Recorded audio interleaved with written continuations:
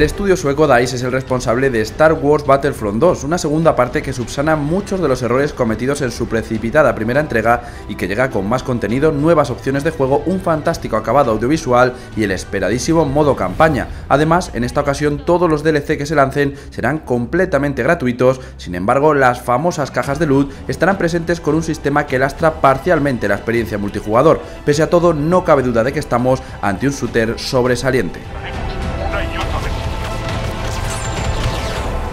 El control sigue siendo tan preciso, rápido y dinámico como lo recordábamos, aunque en esta ocasión se han añadido novedades interesantes. La primera de ellas es el nuevo sistema de recarga, el cual nos permitirá enfriar el arma antes de que se sobrecaliente o bien acertar con el timing para realizar una recarga más rápida. Otro aspecto novedoso que nos ha gustado mucho es el sistema de puntuación para obtener héroes, clases especiales o vehículos. La anterior entrega se basaba en encontrar los objetos de activación por el escenario, sin embargo ahora se premiará nuestra habilidad, ya que a medida que vayamos obteniendo puntos iremos accediendo a estas recompensas. De esta forma, llegado el momento, decidiremos si utilizar los puntos para jugar con una clase especial o bien acumularlos para reaparecer más adelante con un héroe. Lo mismo sucede con las naves y los transportes de tierra, encontrando aquí un nutrido plantel de vehículos. Por último, se ha incorporado un nuevo sistema de reaparición por escuadras que funciona muy bien y que favorece el trabajo en equipo. Somos las torres. En esta nueva entrega vamos a gozar de una espectacular y variada campaña compuesta por 13 misiones en las que se irán mezclando con maestría las fases de sigilo, tiroteos, enfrentamientos espaciales y luchas con héroes. Es complicado enumerar los múltiples puntos fuertes de la campaña sin entrar en spoilers, pero debemos dejar muy claro que DICE ha realizado un enorme trabajo y que este modo encantará a los fans. El motivo principal es que se ha creado una historia emocionante, madura e interrelacionada con el final del episodio 6 y los sucesos acontecidos antes del 7, y gracias a su etiqueta de historia canon supone un un motivo de enorme peso para no perdernos esta aventura.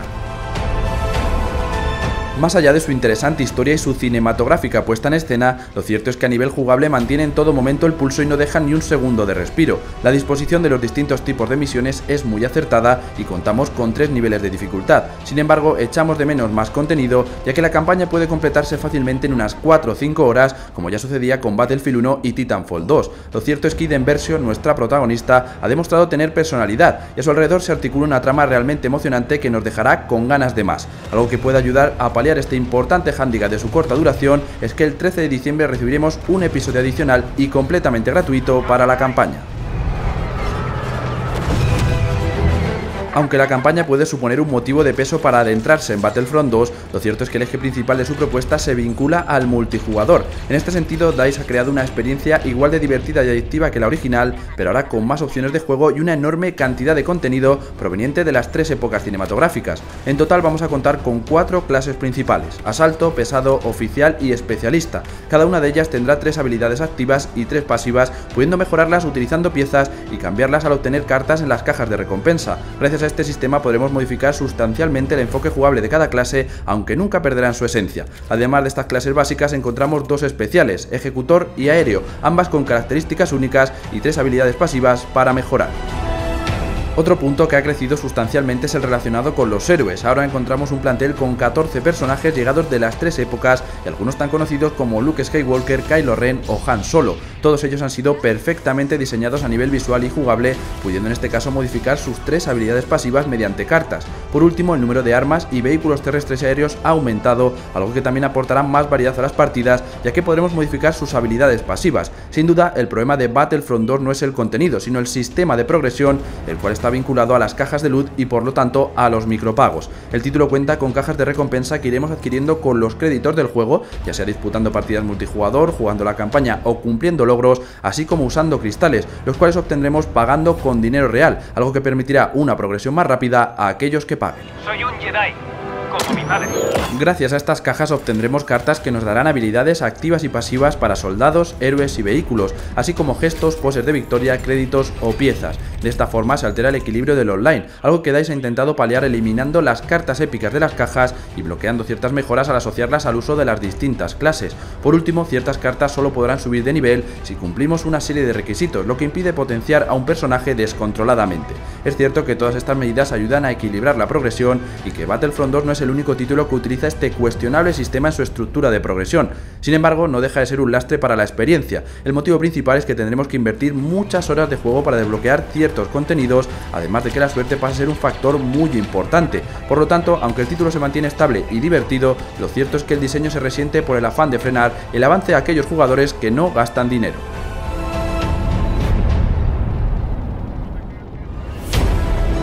Más allá de las polémicas surgidas con los micropagos, lo cierto es que el multijugador de Battlefront 2 es tremendamente divertido y extenso. El modo más espectacular es Asalto Galáctico, en el que dos equipos de 20 jugadores se enfrentarán en enormes mapas para cumplir una serie de objetivos, una experiencia que poco o nada tiene que envidiar a los mejores momentos de la campaña. Sin duda, esta propuesta jugable, aunque está algo desequilibrada entre ataque y defensa, es la más adictiva y su perfecta mezcla entre combates terrestres y aéreos hará las delicias de los fans.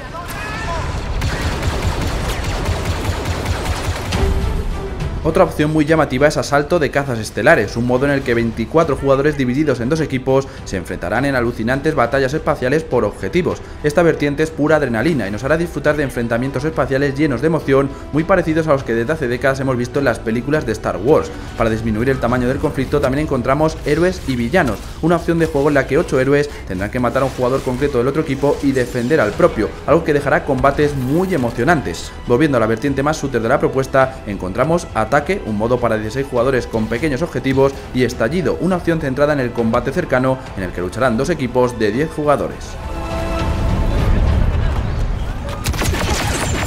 Todas estas opciones de juego contarán con una gran cantidad de contenido. Para los modos clásicos tendremos 11 mapas en localizaciones tan conocidas como Camino, Jakku, Hot o Tatooine. Estos han sido perfectamente recreados a nivel audiovisual y son de un gran tamaño. Para las batallas aéreas dispondremos de 5 ubicaciones como Reload, Endor o regiones desconocidas. Por último, no debemos olvidar que se incorporan un total de 14 héroes y 9 naves especiales, algunas tan míticas como el Halcón Milenario o la Cimitarra de Darth Maul. El arcade se convierte en el tercer vértice de su estructura jugable junto al multijugador y la campaña. Este modo de juego incorpora un total de 48 misiones, las cuales estarán divididas equitativamente entre el lado oscuro y el lado luminoso. Cada uno de estos retos podrá ser completado en tres niveles de dificultad, aunque primero tendremos que superar los más fáciles para desbloquear los siguientes. Los objetivos básicos serán acabar con un número determinado de enemigos en un tiempo límite o enfrentarnos a otro equipo hasta que uno consiga acabar con todos los rivales. Lo cierto es que las misiones son rápidas, encontrando un gran equilibrio y una curva de dificultad muy bien medida, algo que lo convierte en un modo tremendamente adictivo. Además, no solo podremos completar todos estos desafíos en solitario, sino que también se incluye la opción de jugar a pantalla partida tanto en cooperativo como en versus. En la primera opción jugaremos con un amigo, mientras que en la segunda nos enfrentaremos a su equipo. Finalmente, si todos estos retos nos parecen pocos, Battlefront 2 incluye un editor de misiones en el que podremos ajustar multitud de parámetros, haciendo de esta vertiente una propuesta casi inagotable.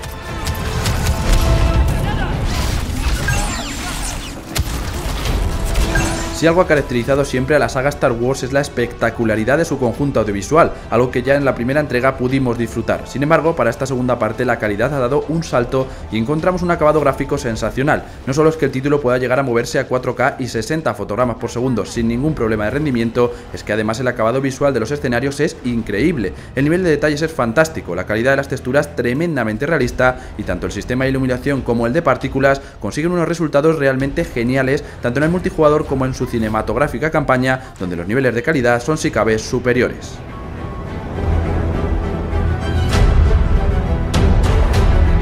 La calidad gráfica se ve potenciada sustancialmente por la increíble composición sonora. Los efectos de sonido son tremendamente potentes y consiguen darnos un feedback directo de la escala del combate y la potencia de las armas, algo que se ve de forma mucho más clara cuando pilotamos un vehículo aéreo o terrestre, momento en el que nos sentimos sobrecogidos por su potencia de fuego. Este sobresaliente apartado va acompañado de una banda sonora con melodías clásicas de la saga y nuevas composiciones que encajan perfectamente con el tono habitual de la franquicia, consiguiendo con ello la calidad esperada. Por último, el título llega completamente doblado castellano, haciendo uso de un reparto de voces bien seleccionadas y con una gran interpretación.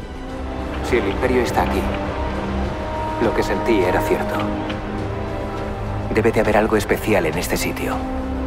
Lo primero que debemos dejar muy claro es que Star Wars Battlefront 2 es un excelente shooter que hace gala de una fórmula jugable precisa, rápida y espectacular, lo que da como resultado una experiencia divertida y adictiva como pocas veces habíamos visto en un título de estas características. Además, incluye tres opciones de juego sobre las que se articula su propuesta y una enorme cantidad de contenido proveniente de todas las épocas cinematográficas. Sin duda, DICE ha realizado un enorme trabajo con esta secuela y aunque ciertos aspectos son mejorables, lo cierto es que Star Wars Battlefront 2 no es solo más y mejor que su primera entrega, sino también también un sobresaliente shooter que encantará tanto a los fans de la saga como a los amantes del género.